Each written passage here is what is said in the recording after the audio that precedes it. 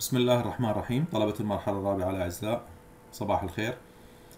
موضوع جديد معاد لهذا اليوم هو موضوع ال anodizing أو موضوع الأنودة في سلسلة ال surface engineering للفصل الدراسي الأول.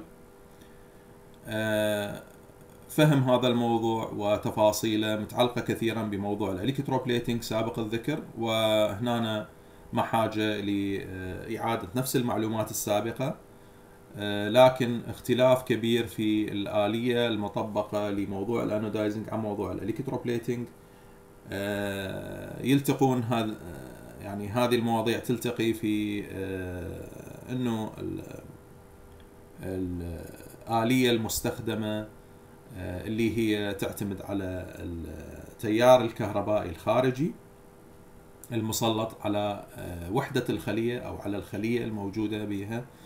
ال anode وال cathode وال electrolyte آه، فراح نكون وياكم هنا في آه، بعض التفاصيل المهمة واللي تعد حقيقة آه، يعني جذر الموضوع أو مفهوم الموضوع أو concept الموضوع العام وفهمه يعني فهم كثير من التفاصيل اللي تهمنا في موضوع surface engineering آه نبتدي عن background لموضوع ال surface engineering بال anodizing مثل ما نوهنا سابقا آه موضوع ال anodizing جاي من كلمة انود بمعنى إنه اني ال workpiece مالتي أو القطعة المطلوب العمل عليها هي حقيقة راح تمثل الانود هنا. وهذا هو الاختلاف الأول بينها وبين ال electroplating بمعنى إنه آني القطعة المراد التعامل معها يجب أن آه، تكون هي المضحية أو هي الانود ولكن راح نشوف طريقة التضحية مالتها آه، هي اللي تنطيني يعني كل ما تضحي القطعة أكثر كل ما راح تكون قابلة للحماية أكثر أو آه، يعني موضوع حمايتها راح يكون هو المطلوب أو هو المطلوب أنودتها. طبعا لها جذر تاريخي هذه العملية مثل ما تلاحظون من سنة 1923 كان بداية استخدامها. ونخلي في بالنا أنها مثل ما راح نشوف بالسلايدات القادمة أنها مخصصة لقليل من المعادن أو لجزء من المعادن على رأسها هو الألمنيوم وسبائك الألمنيوم. وممكن استخدامها للمعادن القريبة من الألمنيوم كالمغنيسيوم والتيتانيوم والزنك أيضا وبعض المعادن الأخرى اللي ما راح نذكرها هنا لكن هي حقيقة أيضا مستخدمة في آه، موضوع الأنودايزنج أو موضوع الأنودايزنج مستخدم لها لغرض آه، حمايتها. آه، أيضا ما يفوتني ذكر معدن النحاس أيضا يمكن استخدام هذه الطريقة له ولكن بصورة أقل كثير من آه، ما يشغل الألمنيوم في هذا الموضوع. الآلية ببساطة آه، مثل ما نشوفه هنا آه، مثل موضوع الإلكتروبليتنج بتفاصيله يمكن خلية عندي خلية وعندي أقطاب وعندي هذا الأحواض اللي تتضمنها العملية بالضبط مثل ما تتضمن عملية ال electroplating وهذا هو وجه التشابه الكبير بينها وبين ال electroplating إنه عندي مصدر كهربائي خارجي وعندي power supply آه، بمعنى power supply وأسلاك وكل هذه التفاصيل وعندي أيضا workpiece أني آه، أشتغل عليها وعندي cathode وعندي انود مثل ما راح نشوف في التفاصيل القادمة. المطلوب من هذه العملية إنه أني أحقق خلية كهروكيميائية آه، متكاملة الأطراف من آنود إلى cathode ومصدر كهربائي خارجي مثل ما نوهت. ولكن القطعة مالتي أو القطعة اللي أريد أشتغل عليها أو اللي أسوي لها anodizing هي القطعة المطلوب طلاءها أو آه، تقدر تسميها معاملتها. خطأ يمكن نسميه طلاء لكن هو معاملة حقيقة للقطعة. وهو بوضعها بمكان الآنود وأسلط عليها الجهد الكهربائي وتستمر عملية الأنودة هذه إلى أن تشكل لي الطبقة الخارجية على السطح اللي هي طبقة الأوكسيد بالعادة. وهاي طبقة الأوكسيد هي اللي راح تكون طبقة حماية. أرجو التنويه هنا إنه أني كل المعادن تقريبا أقدر أشتغل عليها موضوع الأنودايزنج ولكن يعتمد بواقع الحال أو يعتمد بصورة أساسية على آه، طبقة الأكسيد المتكونة أو المتشكلة. كل ما تكون طبقة الأكسيد مفهوم هذا الكلام، كل ما تكون طبقة الأكسيد حامية وذات التصاقيه عالية بسطح المعدن وذات آه، سمك معتدل ويونيفورم عالي وتكون حامية للسطح هي هذه راح تكون الطبقة المقصودة. أما آه، يسأل البعض ليش غير ملائمة إلى بقية المعادن؟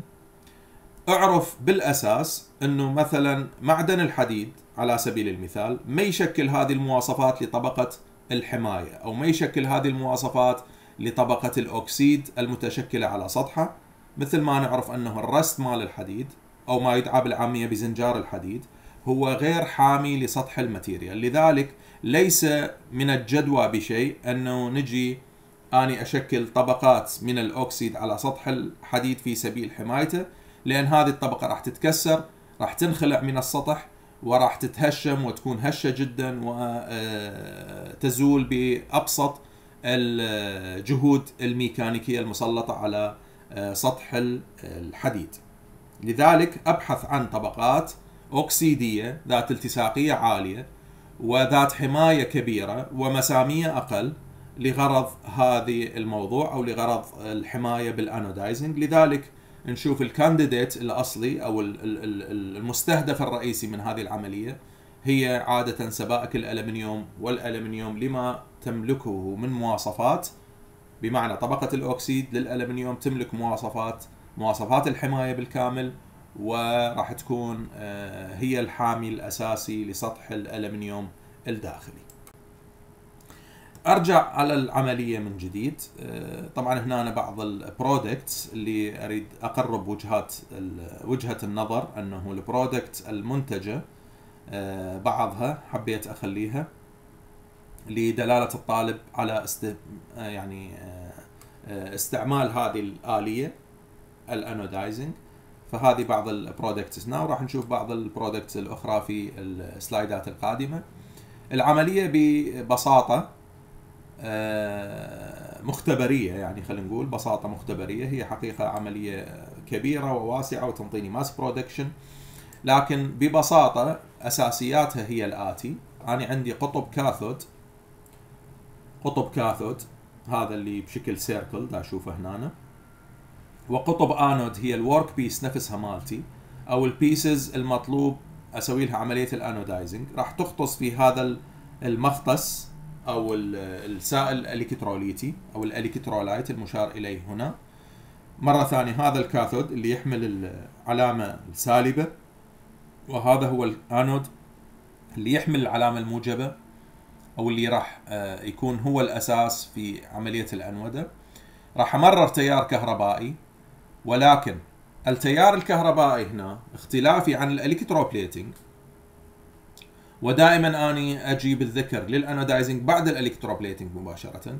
في ال electroplating إخواني الأعزاء قلنا أني أحتاج المصدر الكهربائي الخارجي لغرض الحماية بمعنى انه أني راح أجي أقلب القطبية وأحول الأنود إلى cathode وال cathode إلى أنود بشكلهن الطبيعي أحولهن أقلب هذه القطبية حتى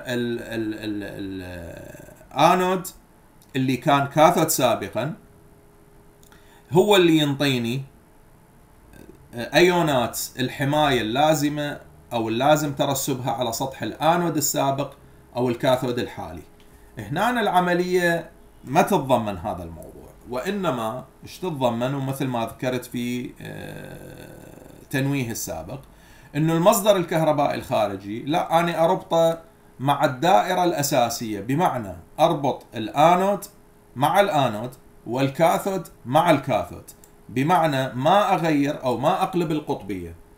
اذا راح يكون السؤال ليش أنا دا أستخدم مصدر كهربائي خارجي؟ بهالحالة إذا اني الانود هو anode وال cathode هو cathode واخليهن على آه، مجرى العملية وتنتهي العملية بالمطلوب.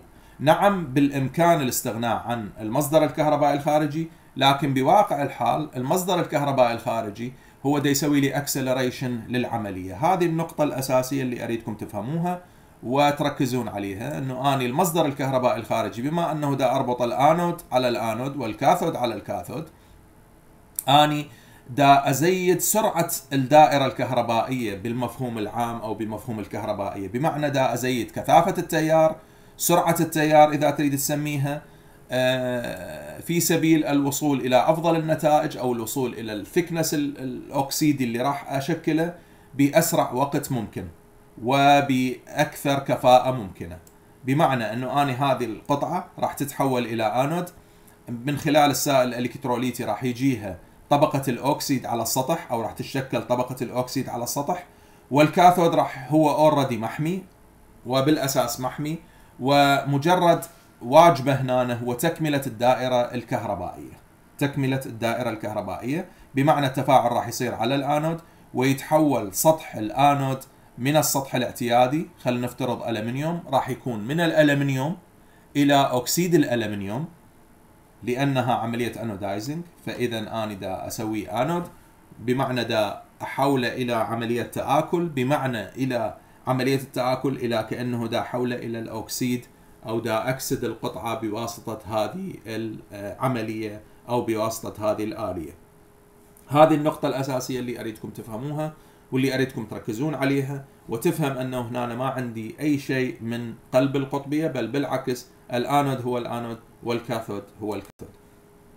وهنا شرح يمكن تفصيلي أكثر للقطعة وحبيت تشوفوها. هنا أنا دا أركز أنه الألمنيوم object as the anode هو اللي راح يكون definitely ال anode بالشحنة الموجبة.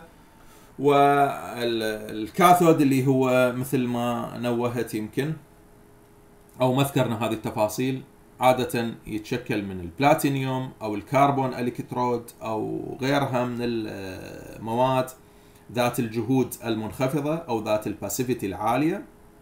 هي اللي راح تكون ال cathode ومجرد تغطيس هذه القطعة بهذا ال electrolyte أو بهذه المنظومة وإمرار التيار الكهربائي بالصورة الصحيحة anode و cathode آه، على آه، سلسلتهن الطبيعية راح هذه ال work piece تتحول من الحالة الاعتيادية أو من المعدن الاعتيادي إلى أكسيد المعدن ولكن على السطح الخارجي نتيجة تآكلها آه، وفق هذه الدائرة الكهربائية. هنا يمكن تفاصيل شوي أكثر لو تركز بيها تبتدي عندي عملية أو سلسلة تفاعلات آه، يعني تنتج طبعا آه، هيدروجين على سبيل المثال هنا لأنه اني عندي لازم يكون ناتج للتفاعل bubbles مثل ما تشوف وتفاعل يصير على سطح الأنود لتحويله إلى أكسيد المعدن. آه، بعبارات بسيطة وأكثر دقة. هنا أشوف بعض ال products لقطع الألمنيوم وأريد أنوه أنه أغلب المنتجات آه، أغلب منتجات الألمنيوم بواقع الحال وللحاجه الماسة لأنه تكون محمية فإن أغلب البرودكت آه، لقطع الألمنيوم أو أغلب القطع المنتجة من الألمنيوم تعامل بهذه المعاملة. تخلي هذه المعلومة في آه، ذهنك. وتعرف أنه كل الألمنيوم اللي تشوفه بالمحيط أو ب آه، العمل أو بالمصانع بالمعامل بالدوائر وغيرها من ال product اللي هي واحدة من أكثر المنتجات على مستوى المعادن آه، وفي بعض الأحيان حتى تفوق الحديد. آه، أغلبها معاملة بال anodizing للحاجة اولا وثانيا للإمكانية لأي قطعة من الألمنيوم بأنودتها وتحويلها أو تحويل السطح الخارجي لها إلى الأوكسيد اللي يكون حامي لسطح القطعة. ولذلك هنا آه، ذكرت إنه الألمنيوم هو ال most used metal إضافة إلى آه، أرجع مرة ثانية بعض المعادن الأخرى يمكن أيضا.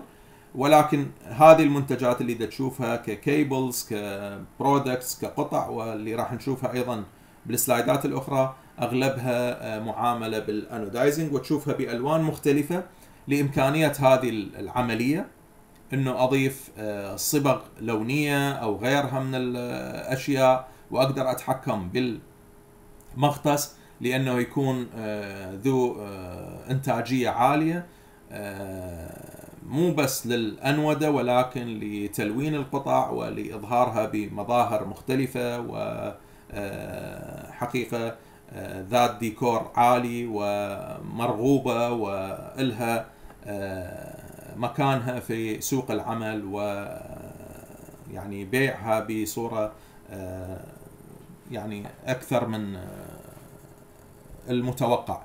ليش؟ لأنه اولا سهلة التش... يعني سهلة التشكيل بهذه العملية أو سهلة الإنتاج بهذه العملية وإضافة إلى الإمكانيات الكبيرة لإنتاجها بألوان مختلفة بمواصفات مختلفة مثل ما راح نشوف في السلايدات القادمة. ك applications هنا أنا ردت أنوه أنه في أغلب الأحيان تسمع مصطلحين في موضوع ال anodizing يمكن هاي ما نوهت لها في المحاضرة وهي الأسلوب التقليدي ال conventional anodize وال hard anodize هذه يعني المصطلحين دائما موجودات أو مرافقات لعملية ال anodizing يختلفن حقيقة ب يعني مواصفات الطبقة المنتجة أو طبقة الأكسيد الناتجة. ال hard من اسمها هي راح تكون ذات صلادة عالية والطبيعي أو التجاري أو المنتج العام هو حقيقة conventional anodize اللي هو تكون صلادته أقل وأيضا اختلاف بال thickness واختلاف بالمواصفات الأخرى. ال hard anodize عادة يفضل في حالة أريد أني more dense oxide أو طبقة ذات مسامية أقل ذات مواصفات أعلى وأنتجها من خلال الوسط.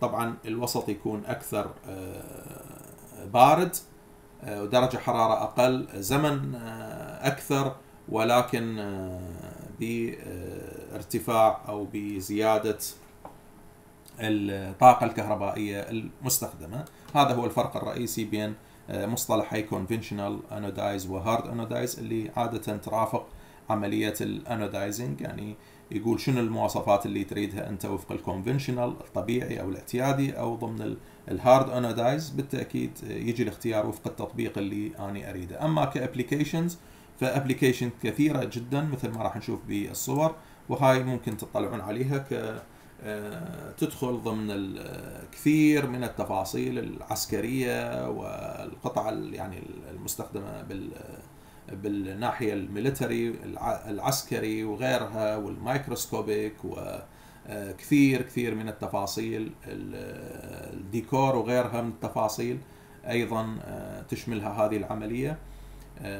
أي سطح تشوفه خفيف مصنوع من الألمنيوم خلي في بالك أنه في أغلب الأحيان معامل بال anodizing وهذه مجموعة صور لكثير من التفاصيل يعني يمكن حصرها هنا في هذا الموضوع مثل ما قلنا الموضوع العسكري وكثير من التولز اللي أستخدمها في الحياة المنزلية كثير من التفاصيل الأخرى والإلكترونيات مثل الام بي 3 وغيرها.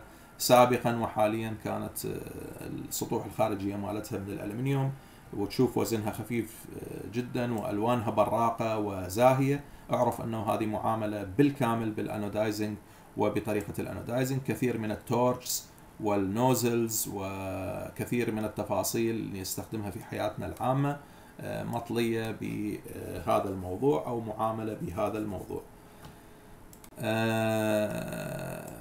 الناحية اللونية كلش مهمة هنا بهذا الموضوع. أيضا بعض جدران الأبنية اللي نشوفها في الوقت الحاضر مثل هنا بعض الأمثلة. وكثير من يعني موضوع الإلكترونيات ال سي دي وغيرها وغيرها من ال MP3 وجدران الموبايلات وغيرها كلها يعني قصدي السطح الخارجي للموبايل وغيرها من التفاصيل.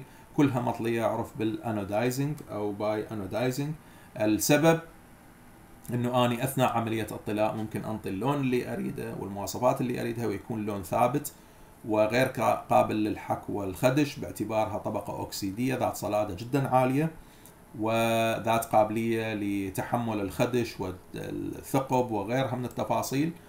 آه، أرجع وأقول إنه هذه الألوان عملية جدا مهمة.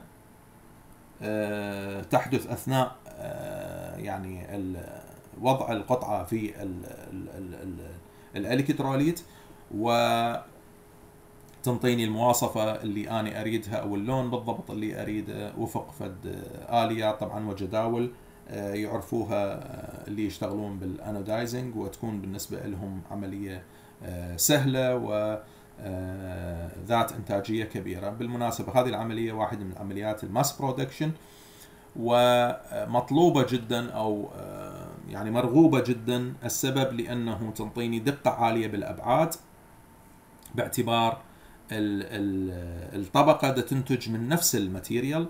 وما أحتاج أني أي قطعة خارجية حتى أجيب من عندها طلاء أخلي على القطعة الأساسية بل بالعكس القطعة هي الأساسية بغض النظر عن التفاصيل الموجودة بها مجرد أوصلها بالكهربائية اللازمة وأخليها بالوسط الصحيح آه، راح تنطيني آه، المواصفات مال أوكسايد لاير على آه، جميع أطراف أو جميع يعني أجزاء القطعة.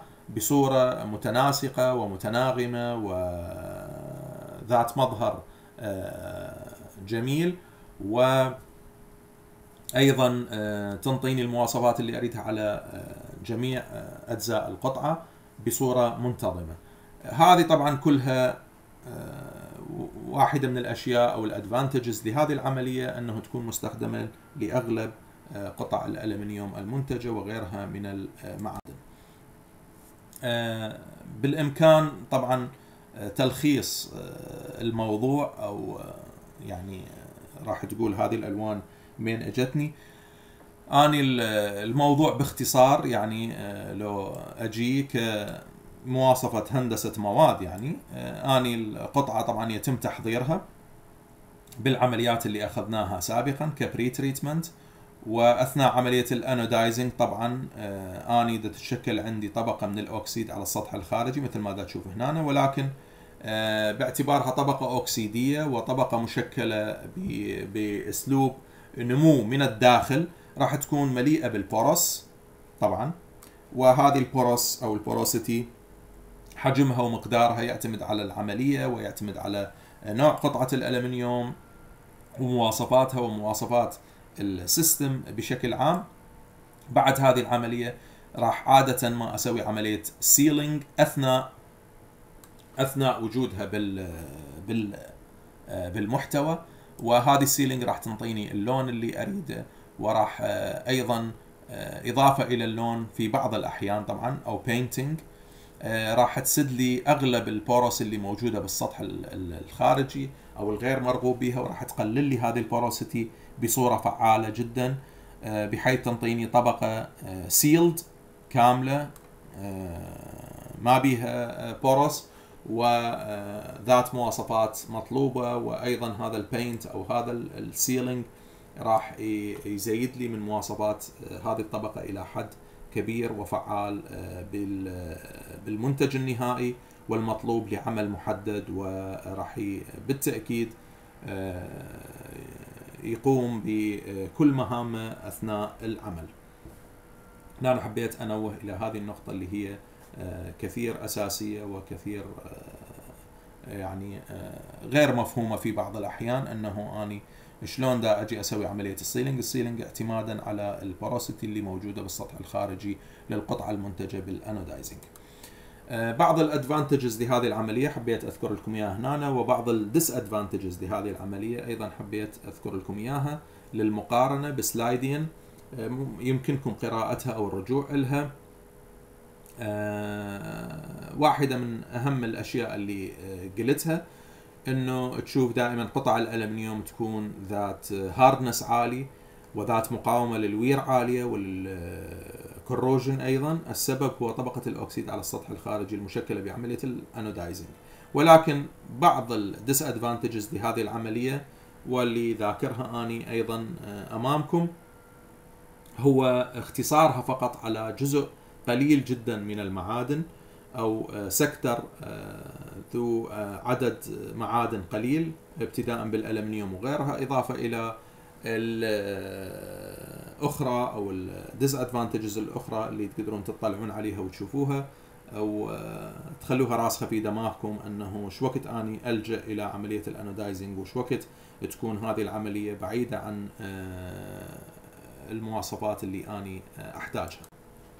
هنا أيضا انطيت مواصفات أخرى أو بعض ال advantages الأخرى اللي ما ذكرتها بالنقاط السابقة وركزت هنا حقيقة على موضوع ال color stability وال cost اللي تتميز به هذه أيضا العملية وتخليها واحدة من أفضل العمليات لمنتجات كالألمنيوم والتيتانيوم وغيرها من المعادن.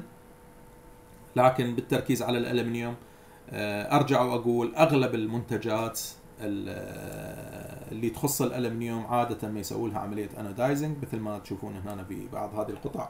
الشائعة الاستخدام عندنا بحياتنا العامة الميداليات القديمة وحاليا أيضا تنتج.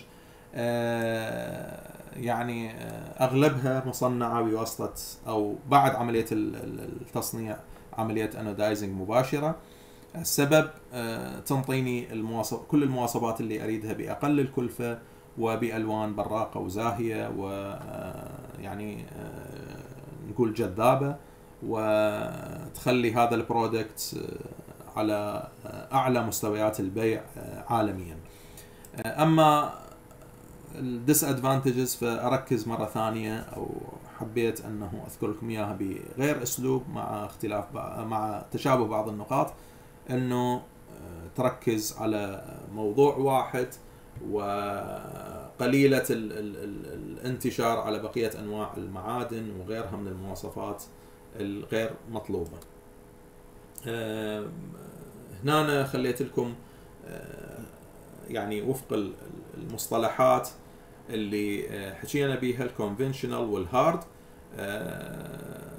طبعا هنا تدخل ضمن عملية اختيار المواد ولذلك هذا الجدول حبيت أنه تطلعون عليه مجرد اطلاع وتشوف شلون أنت تجي تختار بين من يجي المصنع يسألك المواصفة اللي تريدها أو هل أنت المواصفة اللي تحب تطلع عليها هي وفق ال standard أو فد شيء إضافي. فتجي أنت شنو اللي خال في ذهنك من مواصفات؟ مثلا تجي إلى corrosion resistance لو تشوف هنا ال conventional تتضمن 336 ساعة. لكن بالنسبة لل hard يصل إلى 1000 و2000 ساعة عمل بال salt spray أو بال بال بالسبراي المالح. فبالتأكيد يعني من تريد مواصفة corrosion عالي راح تروح إلى هذا الخيار. مثلا ال thickness آني إذا أريد thickness قليل عادة أروح لل conventional لكن من أحتاج thickness أعلى أروح عادة لل hard anodizing ال appearance أو المظهر من اريده يكون براق ونظيف وشيء مبهر راح أروح إلى ال conventional لكن حقيقة من أذهب إلى ال hard anodizing أخلي في بالي أنه هو عادة يعطيني dark أو يعطيني gray إحنا نسميه أو يعطيني matte. لون الغامق أو الطافي إحنا نسميه. وغيرها من المواصفات اللي هي تتضمن هذين العمليتين واللي قلت مرة ثانية أنه تعتمد بصورة أساسية على التيار المار وعلى ال electrolyte ودرجة حرارته ونوع ال material المستخدم. أخيرا خليت عليكم بعض الأسئلة. أو بعض الأسئلة العامة اللي ممكن تطلعون عليها وتجاوبوها بأسلوبكم. ليس الغرض منها الحفظ وإنما نهاية محاضرتي بثلاث أسئلة عامة. هل هي صديقة للبيئة؟ و يعني ما هي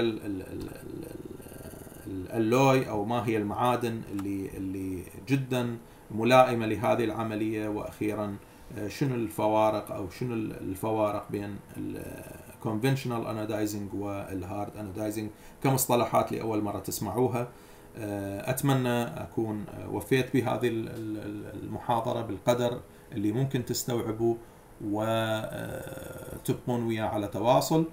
شفنا الفوارق بين ال electroplating وال anodizing وشلون اثنينهن يشتركن في عناصر معينة ويختلفن تماما بعناصر أخرى.